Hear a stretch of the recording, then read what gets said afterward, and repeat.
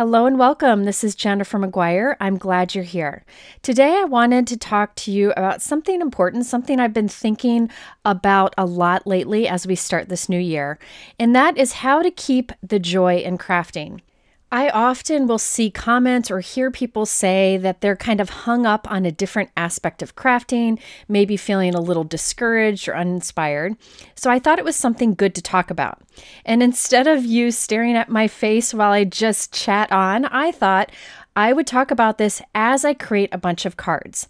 Now, this may be all over the place, I warn you, because I'm doing two things at once, but I want to make the best use of the time you spend here.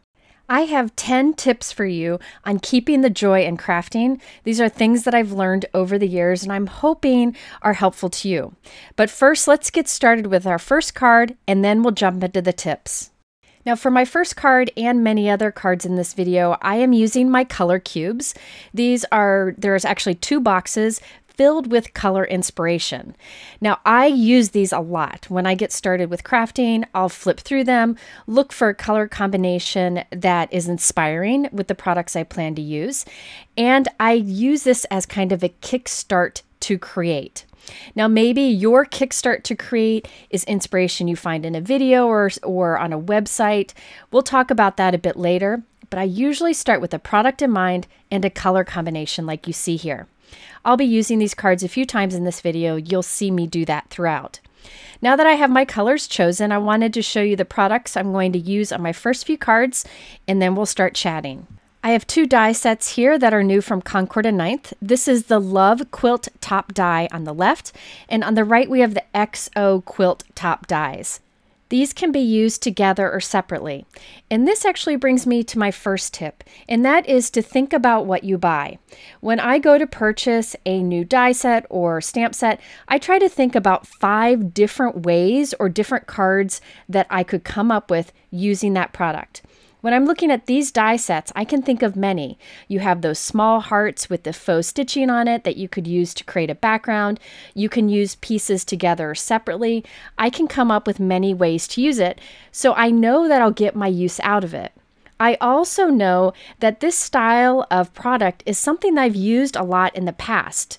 It's something I reach for often. For example, these were made using some of the older quilt dies from Concord and Ninth. You can see I've used them a lot. I've made a ton of cards, mass producing backgrounds.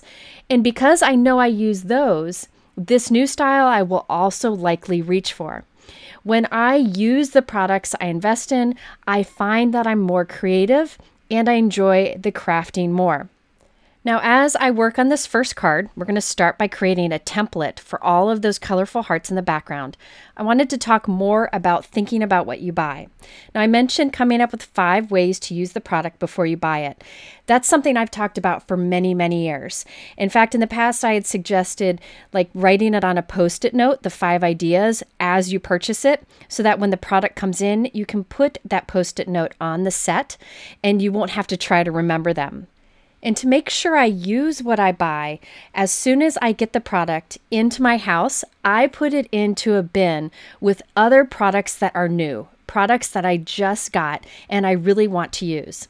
That way, the next time I go to create, I can look in that bin and make sure they get used and not forgotten. So that's my first tip is to really think about what you buy so that when it gets to your house, you'll be excited and ready to craft. All right, before we go on to the next tip, let's go back to the card here. I created a template for this heart background, and I'm taping the template onto the front of a four and a quarter by five and a half inch white note card.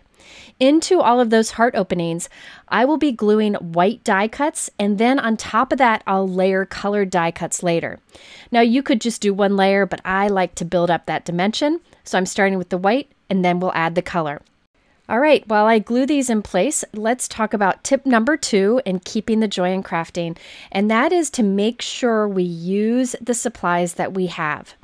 I find it very inspiring to dig through my old supplies and find something I haven't used in a while and include that in something I'm making. It makes me feel like I made a good investment, and I also feel more creative when I use something in a different way. So every time I create a card, almost every time, something on my card is older. a supply that I've wanted to use for some time or I haven't used in some time. You'll see me add an older supply to this in a moment. Now, here is a suggestion on how to use your older supplies more. Once a month, I go through my old stamps, dies, and stencils, and I try to look at them with a different lens. I look for products I haven't used in a while and think of how I could use them in a different way. Maybe it's an old holiday set. Can I use that to create a spring card? Or maybe there's a sentiment in a stamp set that I've never used before and I can reach for that. So when I go through my old supplies once a month, I do purge things that I know I'll never use again.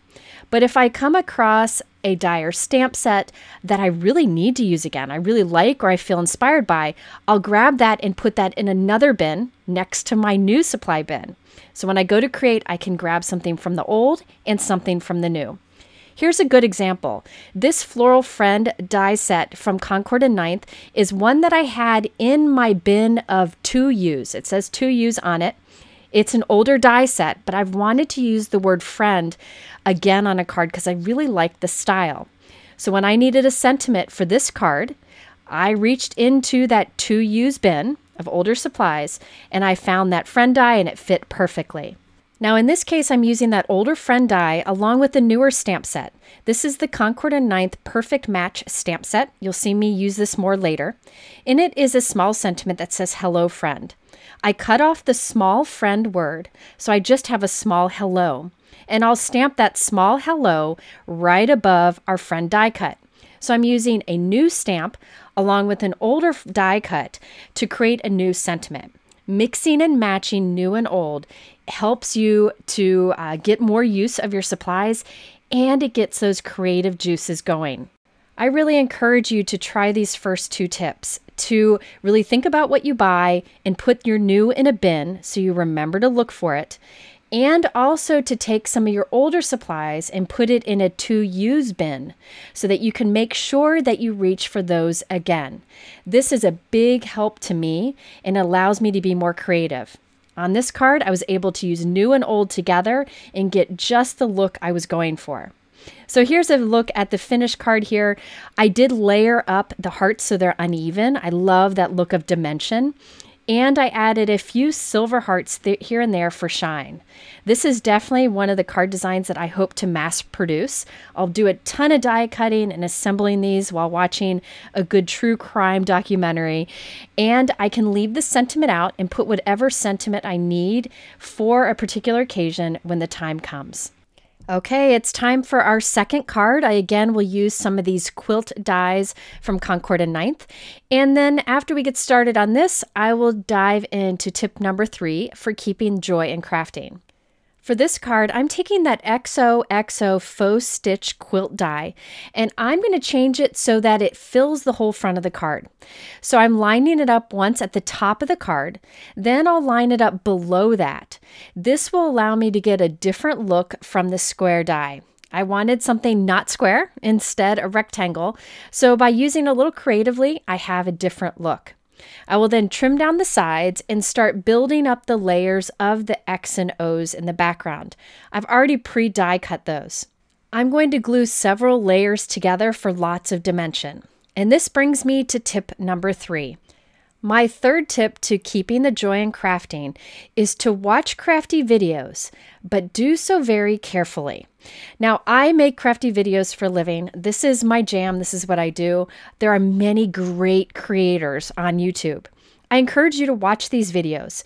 There are a lot of things that we take a lot of time behind the scenes to experiment with and then share with you. So it's a great way to learn new techniques or new ways to use products. However, when you're watching videos, be sure to not compare yourself to the person you're watching. I do this for a living, and this is an edited video. I edit out all the times I mess up. I edit out all the times I start over. I spend a lot of time working on these. You see 35 minutes, it takes me two or three days. So keep that in mind as you watch them. Don't compare yourself to what you're seeing in a video.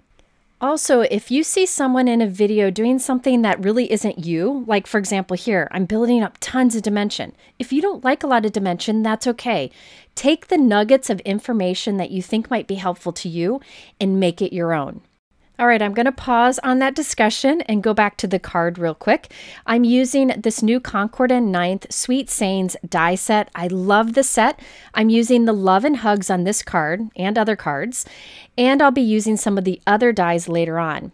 The Love and Hugs cuts the letters for Love and Hugs, the outline, and there is a shadow die. So many ways you can use this. Now, as I assemble one of these Love and Hugs sentiments, let's wrap up that last tip. That tip was to watch crafty videos, but do so carefully. Be sure you're looking to them for inspiration, not for comparison. Make sure you're looking for the little nuggets that could apply to you or help you, and ignore the things that don't appeal to you. And remember, we all make mistakes. You're just seeing an edited version here on this video. In fact, I kept a mistake in later just to prove to you it happens to all of us.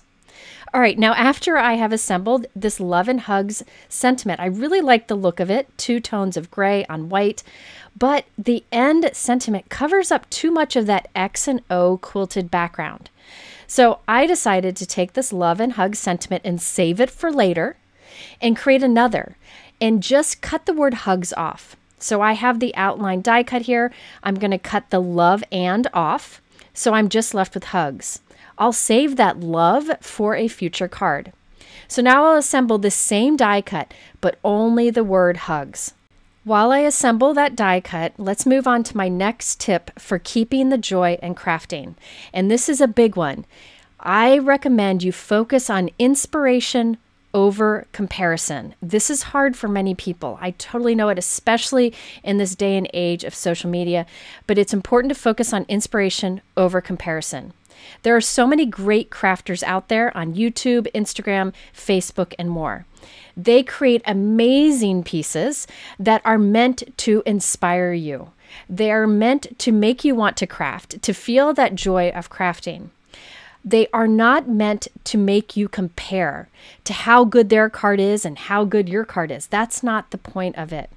The point is inspiration. Here's a good example. Back when Lila was little, she was a little late in learning how to ride her bike. Maybe because she's the fourth kid and we're a little tired, but she didn't know how to ride a bike yet and was a little um, trepid about it, I guess you would say. I had to remind her that everybody learns in different paces. She could read really, really early. Her friend couldn't. Her friend learned to ride a bike really, really early. That's okay. Both are great. Now they're older and they both can read and they both can ride bikes. So don't compare where you are to someone else. You might be better at something than the person you're watching in a video, and they are going to be better than you at some things. It's okay. Don't compare. Just look for inspiration. And along the same line, if you are on Instagram or Facebook, do not look at the number of likes or comments you get on a card. It doesn't matter. As long as you enjoyed creating it and your recipient enjoys receiving it, that is all that matters. All right, now let's look at this completed card. You can see I added the hugs. I just cut the love and off of it put some layered dimension on there, a little bit of shine, and added a few hearts. So there I was able to change up that quilt die and use that hugs die creatively. In fact, when I got that love and hugs sentiment, one of the five ideas I had with it was to cut apart the words so I could have different sentiments. As we wrap up this card, let's wrap up this tip of focusing on inspiration over comparison as we look at others' work. Really, anytime somebody shares a card online, it's to inspire, not to make you feel worse about your crafty journey. All right, let's move on to our next card. This is a pretty simple one, but I use some of the products I showed you earlier and combine in some older products, all in the same card. So using the quilting die that I showed you earlier, we have a white square and I'm just adding on the pieces to form the word love.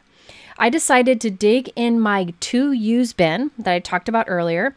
These are older supplies that I wanted to be sure to use again. And I'll use one of them for the background and one for the sentiment. This is the Concord and Ninth Happy Rays stamp and die set. This was in my two use bin. I wanted to be sure to use it again. And also for a background, I found this pinwheel quilt die. I showed you some that I had prepared earlier. I use this background die a lot. And so it's permanently in my to use bin because I reach for it so often. So I'm using those with my new products. Again, making sure I put everything to good use. I also wanted the word and that I could put between hugs and love. So I found this stamp set from Simon Says Stamp. It has a sentiment that I could just cut the word and off of and use that on my card. If you don't like cutting up your stamps, you could always just mask. So this just shows you I really do try to use that to use bin of older supplies I want to revisit. It really is a time saver. When I need just the right sentiment or just the right background for a card, I can look in there and it usually I'll find something in that bin that works great with whatever new products I happen to be using. As far as embellishments for this, I'm using the new Concord and Ninth enamel hearts. Look how cute these little hearts are. And what's nice is they match up with the 8.5 by 11 paper pad that you see there. I really like that they've come out with pattern paper that's so big because you can make note cards from them. I'll use them in a future video, but for now I'm just using the enamel hearts and I'll use these little clear gemstones or little dewdrops later on in this video. By the way, a little tip for picking up little enamel dots. I find it best to take a craft knife and tuck the sharp end of the craft knife underneath the enamel dot and then pick it up and place it on to your project.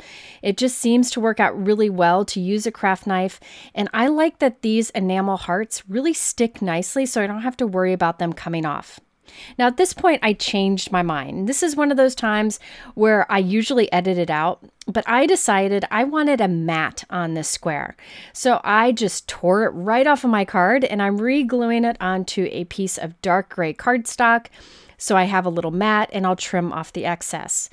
Remember, Crafty YouTubers make changes and mistakes all the time. We just usually edit them out. So don't ever feel like you're the only one who struggles as you're crafting. Boy, oh boy, do I also. So here's a look at this simple completed card. I did add a little faux postage to the envelope flap. That is from the Concord and Ninth Sweet Saying die set that I showed you earlier.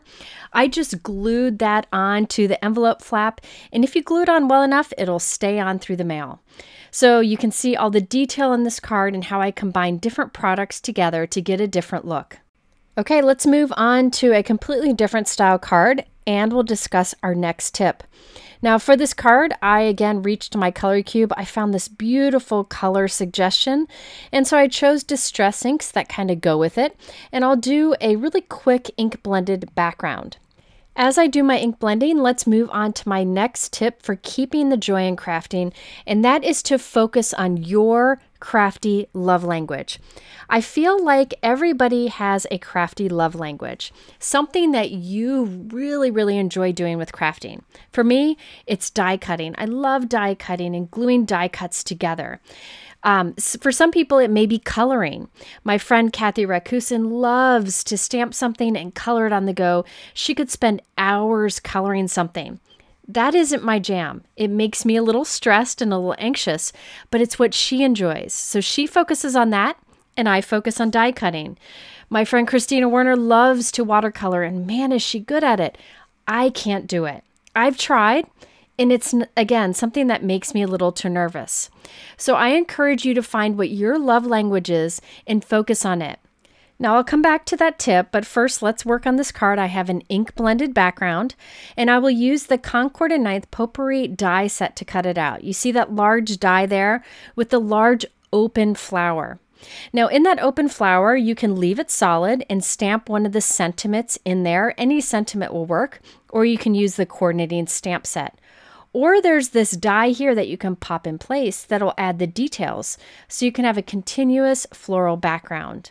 Then, of course, there are other dies here that all work well together or separately. That's one of the things I like about Concord and Ninth. But in this case, I'm just using the background die without that floral die insert to cut from our ink blended background. And we'll use this stamp set in a moment and later on. While I die cut this background and cut additional layers to glue behind it for dimension, let's talk more about focusing on your crafty love language or your joy of crafting. Earlier, I mentioned that watercolor stresses me out sometimes. Now, I wanted to learn. I tried it. I gave it a go. I took watercolor classes. I learned from Kristina, and I just realized it wasn't my thing, and that's okay if you try something and try to get better at it and it you just realize it's not your thing, it's not your love language, then don't do it.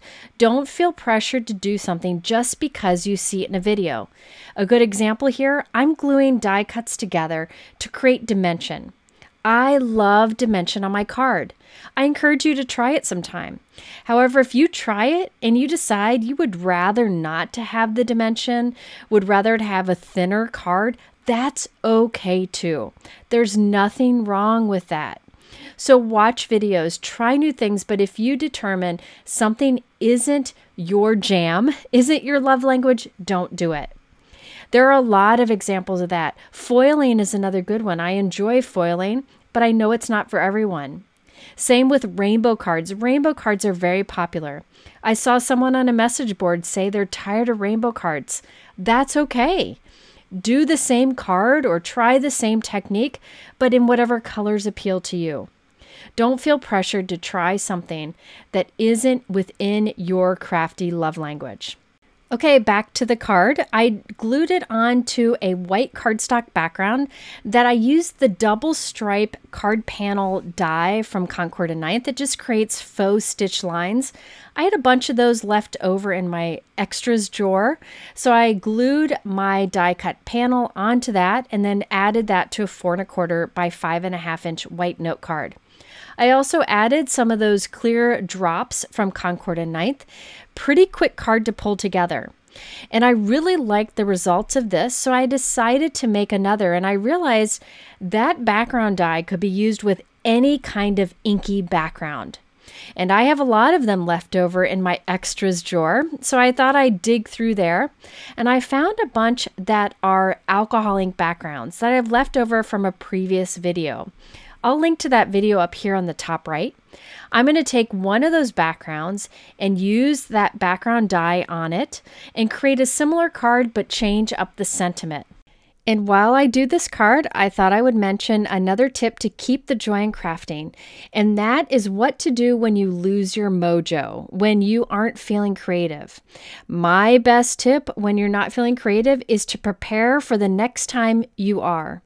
One of the best ways to prepare is to have extra pieces, like I have here, that are ready to go the next time I feel like I'm ready to craft. Another way you can prepare is to organize your supplies. I, for most of us, not everyone, but for most of us, if we're organized, we feel more creative. And the third way is to think of a nugget you learned in a video. Maybe it's a video from me or from someone else, but something that you wanted to try.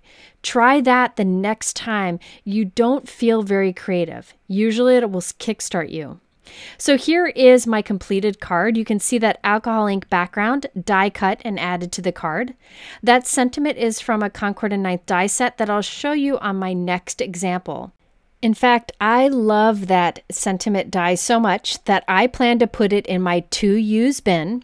And the next time I'm not feeling very creative or I've kind of lost the joy in crafting, I will make a bunch of those sentiments so that they're prepared and ready for the next time I want to craft. So, to wrap that up, a tip for keeping your joy in crafting is to not get discouraged when you lose your mojo or feel not so creative. When you're not feeling creative, take the time to prep. Prep pieces for the next time you're ready to create, organize, or watch videos and look for a little nugget that you want to try the next time you are feeling creative. Okay, let's move on to our next card. We're going to do some stamping here, and the inside of this card has a surprise. It's an example of where I stretch a supply to get more uses out of it. All right, now for the front of this card, I'm using this new turnabout stamp set from Concord and Ninth called Love Lines. This actually has two turnabout stamp sets, one for the middle and one for the outside, and it has lots of great sentiments. If you've never used a turnabout stamp, what's cool about it is you stamp it once and rotate it, stamp it another time and rotate it, and do that four times until you get a colorful, complete background. Again, this one's special because it has an outside stamp and an inside that you can use together or separately. I'll first show you what it looks like when it's stamped together, and then I'll have a card example where I just use the outside, which leaves that open window. I like that this has a lot of different options, so you can use it in many different ways. Remember that tip of when you buy something, make sure you can think of five different ways to use it. Now, this stamp set also has coordinating dies available. This is where I got that love, love, love you sentiment that I used on my last card. I really like that one. And there are other dies that coordinate with the stamp set. I really like that Concord and Ninth make sure that the coordinating dies can be used separately. It doesn't have to only be used with the stamp set. All right, now the turnabout stamps, if you've never used one, comes with a guide. That guide is that clear piece with the black printing on it. I'm taking the outside stamp and lining it up with the printing on the guide. You can see me doing that there. It's pretty easy to see through the stamp and line it up. My stamp's a little bit pink because I've already stamped it once with pink ink. Once I have it lined up with that grid, we will grab our jig. This is a sticky mat from Concord and Ninth, and we'll line up the X on this guide. You see that X through the back center? We'll line up that X on that guide with the X on the jig. Here's our jig here. And you'll see the black X on the guide will line up with the white X on the jig. So I can line those up and put them in the corner of our stamping tool close the door, and then we can start stamping. However, remember this turnabout stamp has this outside stamp, but also an inside stamp that you can stamp together separate. So I'm going to stop here and put the inside stamp in also. I just wanted to show you how to use only one if you prefer. So I'm lining up the inside stamp with the black printing on that clear guide. Once I have it lined up there, now we can take it over to, to our jig line up the black line on the clear guide with that jig that we have in our stamping tool. So I'm lining up those X's. It's very easy to do, and I'll link up here on the top right to a more complete video. Once I have pushed the jig into the corner of my stamping tool, I'll close the door on it to grab both of those stamps. And now we're ready to stamp. I will take a piece of white cardstock that's four and a quarter by five and a half inches, and I'll put it onto that sticky jig. And it has little guidelines, so it's easy to line up. You could put whatever size piece you want on there. I found another color cube color suggestion, and I found inks that kind of matched with it, and I'll use those four inks for each of the four turns of our stamped turnabout. So we have it in the first position. I have the jig in the corner of my stamping tool. I'm inking up my stamp with the first ink and I'll press that firmly onto the cardstock. Now my inks need some re-inking, so you'll notice that I stamp them a couple times just to make sure I get a really nice impression. That's another nice thing about using a stamp positioner or stamp tool like this one. Now I'll turn my jig one turn and I'll pick the next color, ink up the same stamp and stamp that. Then I'll turn the jig again and stamp with the next color. And we'll do that four times till we have a complete background with all four colors. While I do this stamping, let's go into my next tip for keeping the joy in crafting, and that is to embrace these crafty small businesses, such as Concord and Ninth. Concord and Ninth came up with this great idea of doing a turnabout stamp, stencils, and dies. And I love how you can get a creative, unique looking background. So I encourage you to embrace these small crafty businesses. Not only do they create products that keep our industry going and keep us creating, but they offer a load of inspiration at no cost. Anytime you get a product or see a product you're even slightly interested in, you can go to their website and there will always be lots of examples to see there free of charge. Oftentimes, they have videos too. Not only do these small businesses work hard to come up with new creative products, but they also look at other industries and find tools that might work well for us and show us how to use them. They research all the options and find out what's best. Now here is a die set from Concord and Ninth that's really creative. There's a die set and a stamp set. You can buy them together or separate. I really like the die set here because there's so much in it. As I mentioned, Concord and Ninth is good about that. But look at those ticket dies. They create little tickets that are connected together by perforated lines. So many ways you can use them.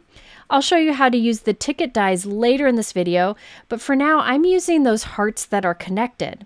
They're meant to be little heart tickets, but I'm going to use it to create a pop-up inside of our card. So I use those connected hearts to cut from dark purplish blue cardstock. I want these to stay connected instead of tearing like little tickets. So I'm putting a piece of scotch tape on the back. Any kind of tape would work here. Notice there's a little tab on the right hand side. I also want a tab on the left hand side for the technique that I'm doing. Again, I'm using these dies a little creatively, not how they were originally intended to be used. So I cut another die cut with that die and I'm just cutting off the little flap from the end. So you'll see there's this little flap here with the perforated fold line at the center. I'm going to glue that onto the other side of our folded hearts. I put some tape on the back so that the perforation doesn't come undone. And I'll glue that onto the left hand side. So now the left hand side of this little heart die cut piece is just like the right hand side with the little flap sticking out. These little flaps will allow us to glue them inside of our card to create the pop-up feature.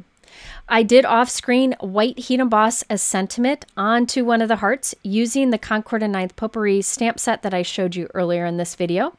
And now we're going to fold those two tabs back on the left and the right. We'll fold them back and then fold the other hearts in on each other. So we'll fold in and out and in.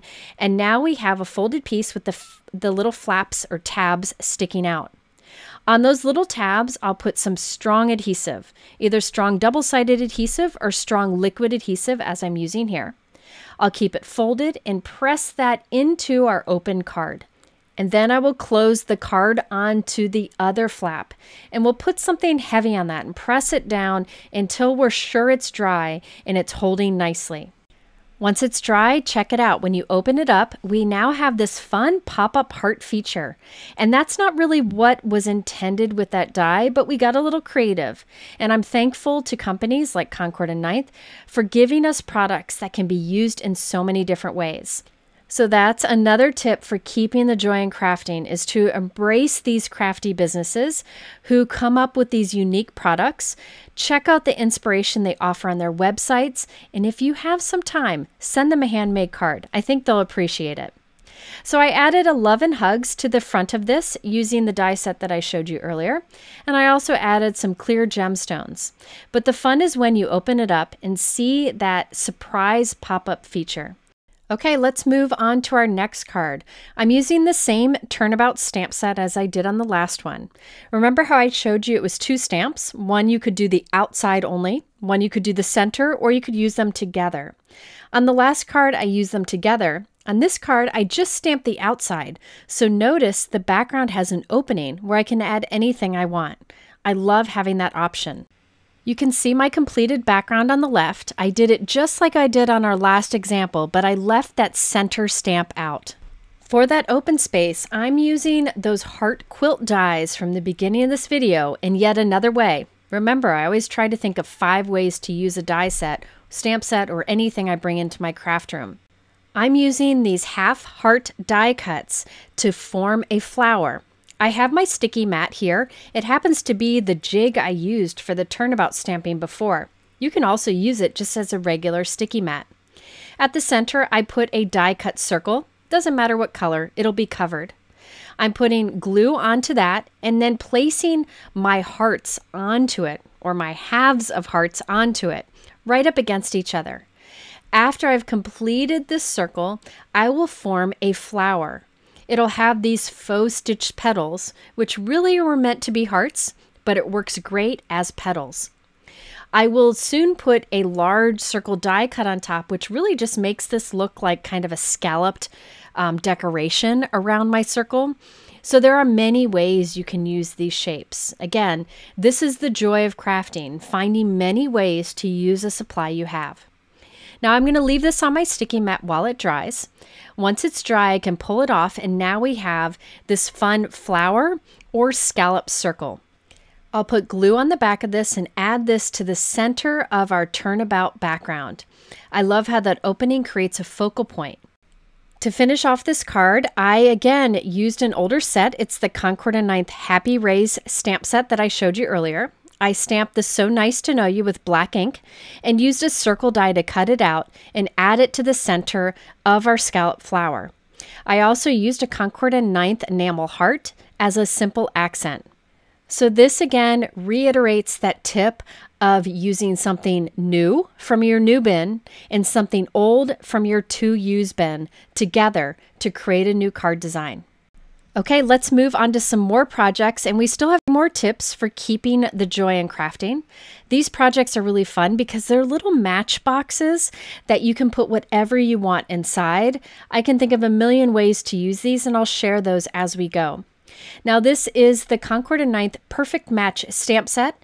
Coordinating dies, again, sold together or separately. I used this stamp set earlier, but right now I'm focusing on this die set. It has lots of little dies that can be used in many ways, on cards also, but it has the basic dies that create a very simple little box. Then there is this stamp set that can be used to decorate it. There are some really fun ones here to do that kind of match theme. I'm not using those in today's video, but do know that they're available and they're really fun and kind of punny. But I'm going for things that I can use for my kids. So I will be doing some hugs and kisses themes and a rainbow. And I'll be using the Concord and Ninth Sweet Sayings die set that I showed you earlier in this video. I thought I'd show it to you again because it's been a while. This is a long video. But notice there are these kind of faux postage looking dies. I'll be using that Hugs and Kisses one on these projects. So I cut the hugs and kisses several times from white cardstock and I kept the letters in place.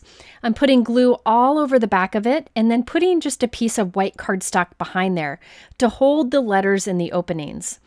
I then die cut the hugs and kisses many times from other colors of cardstock, and I'll pop each of those letters on top of the white die cuts that are already in place. This will give us a little dimension and lots of color on those letters. So while I glue that together, let's go back to the topic of keeping the joy in crafting. My last idea was to embrace the crafty companies, to appreciate all they have to offer, and even send them a card if you get a chance. That brings me to my next tip, which is to try to make crafty friends. I know this can be hard. There are many of us who live in areas where there aren't other crafters. But the internet can be a great thing. Join Facebook groups, join crafty groups. You'd be surprised how quickly you can find someone that you can connect with and become friends. Most of my crafty friends I found because I saw them online just being a cheerleader for other people. And that was really inspiring to me. And so I got to know them and we became friends. It's a great way to make a connection with someone who understands the love of crafting. So I uh, have a Share Handmade Kindness Facebook group. There's a lot of people have become friends there. You can reach out to others. I encourage that. It's always helpful when you have someone who understands your love of crafting. Also, you can share cards. You can send each other cards, share inspiration. You could even Zoom together and do some crafting. I do that often with some of my crafty friends. Now, as someone who suffers from anxiety, especially social anxiety, I know that can be scary. But there is somewhat of a safety zone around the crafting community online, and it's something that I really encourage you to try. Try to make some of those connections. It can really help to keep the joy in crafting, and you have someone to send your cards to. Okay, back to the projects. I have my little hugs and kisses assembled, and I have these leftover pieces lots of leftover pieces that I can save for later. Remember, be prepared for the next time you feel creative. Now it's time to create the little boxes for these. I'm using those perfect match dies from Concord and Ninth. There are two dies. You cut the two pieces and basically you just fold along the score lines the die creates and add a little strong adhesive. I like to use strong liquid adhesive. Here I am forming the base, which means folding in on all of the lines and then putting strong adhesive along the little flaps. We'll do that on both sides and that creates the base of the box. Now, this box can hold a lot of things. You can fold up money, you can fold up little notes and put it inside. You could even put little chocolates. Remember, the die set has little matches that you can put inside, and you can stamp something on the side of the matches. But I am going to put little chocolates in here and put them in my kids' lunchbox. And we'll probably do this as little Valentine favors in my daughter's class. But all you do is fold those little flaps in and glue it, and there you have the base of your box. Now, for the outside of the box that slides on and off, you just put strong adhesive along the smallest little flap and then adhere that to the opposite flap and put something heavy on it while it dries. Now, while I decorate the outside of these boxes, I thought I would mention my next tip for keeping the joy in crafting, and that is to mail your cards. I know we create a lot of cards and we love making them, and sometimes it's hard to part with those cards. But I really recommend giving them to someone. That is the biggest joy of making cards. If you want to, you can make two of the same card so you can keep one. Or you can just take a photo of your card with your phone and keep it in an album so that you can refer back to your older cards anytime you want. But mailing those cards will definitely keep the joy in crafting. Okay, back to the projects. I used the Just My Ticket dies from Concord and Ninth to cut these white ticket dies that fold up nicely and fit inside the box. On these die cuts, I plan to write a little message that I can put in my daughter's lunchbox. I like to include something in her lunchbox every day to give a bit of encouragement. I did create this third box here where I put a little rainbow, sunshine, and stamp, all from the Concord and Ninth perfect match stamp set and coordinating die set. So many ways you can use these. You can even glue multiples together to include even more little chocolates or little gifts. While I show you a closer look at these projects and a bonus card that I created using some leftovers, I wanted to talk about my last tip for keeping the joy in crafting. And this is an important one. This tip is to remind you that crafting is a guilt free zone. No guilt should exist in crafting. Do not feel guilty for how much time you spend crafting or how little time you spend crafting. Do not feel guilty if your craft room is messy or if your craft room is clean. Do what works for you. Don't feel guilty if you enjoy collecting craft supplies and not using them. That's okay. And don't judge others for how they choose to craft. Don't feel guilty if you don't want to try, say, foiling, but others do. Do what works for you. Don't feel guilty if crafting is what gets you through the day, if it's your therapy. Don't feel guilty if spending time in your craft room is what you look forward to most. Do what works for you. Don't feel guilty about any of it. This is supposed to be your joy, and make sure you're keeping the joy in crafting. I hope this video was for you, and please don't feel guilty if one of my tips isn't helpful for you. Again, look for those nuggets that are. I am thankful you spent this time with me. I hope it was somewhat helpful, and we'll see you again soon with a normal crafty video.